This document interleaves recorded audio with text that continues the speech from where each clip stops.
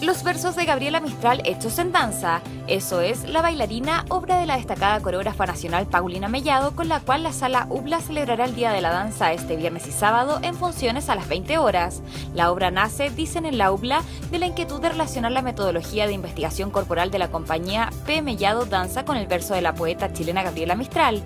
La pieza fue estrenada hace un año en el marco de los 70 años del Premio Nobel entregado a la escritora chilena.